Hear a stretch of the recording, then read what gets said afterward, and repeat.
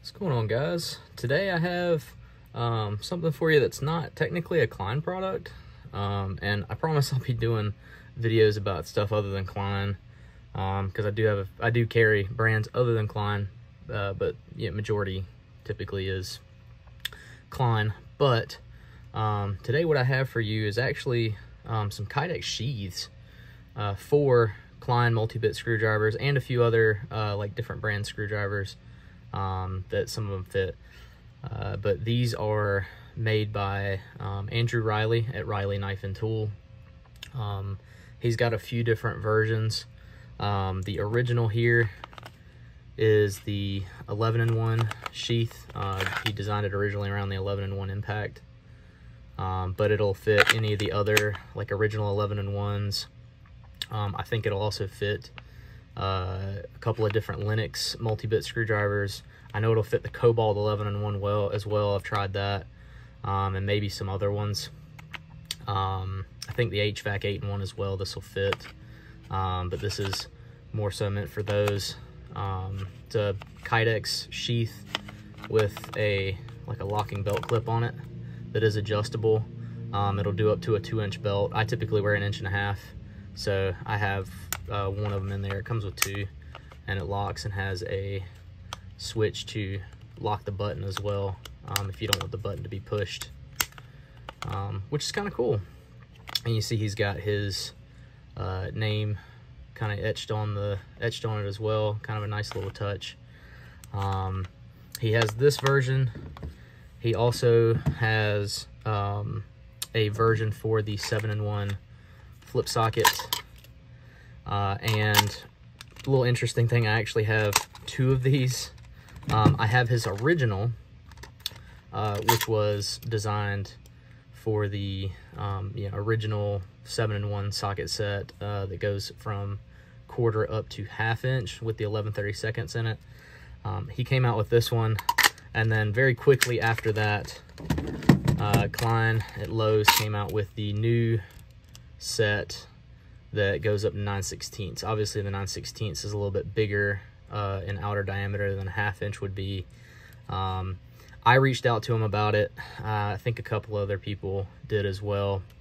And he decided to make a V2 um, so that will fit the 930s or the 9 16ths socket. Um, he discontinued this one and is making this one only now because obviously this one being bigger, it still fits the original um, as well as the new one. So there's kind of no point in keeping uh, the V1 around. But cool thing with that, uh, with it, obviously you can see it's kind of straight all the way through. So no matter what orientation you have your sockets in, it'll still it'll still fit in the sheath. Um, so if you leave your flip socket set up in a particular way, um, it'll still accommodate that as well as um, if you like to leave a bit in the end, it does have a hole in the bottom to pass through to allow the bit to stick out um, and not interfere. So that's another thing that you can do with it as well.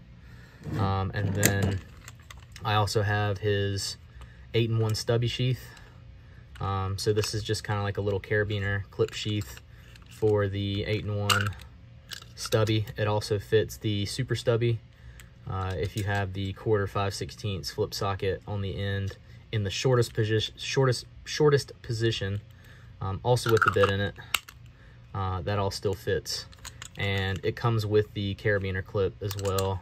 Um, this is how I have mine set up with the little mini ratchet on it as well. And I clip it onto one of the handles on my backpack um, so it hangs out on the outside.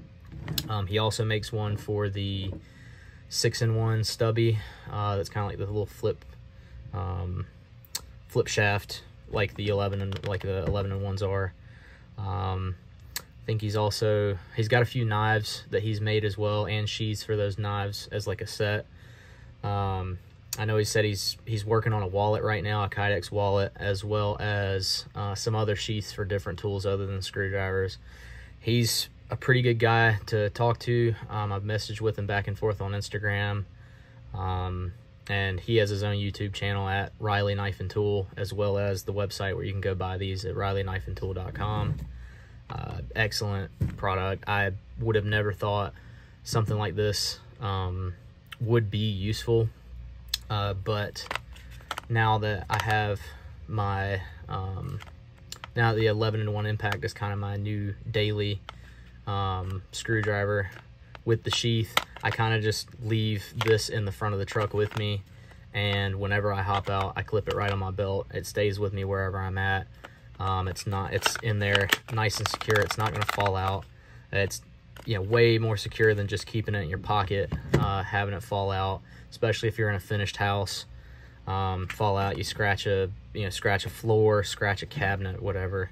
Um, not gonna be a good day. So being able to have a nice little secure place to keep your uh, your everyday carry screwdriver is is pretty useful. And uh, didn't know if you got if any of y'all knew these existed. Um, I'm sure some of y'all do.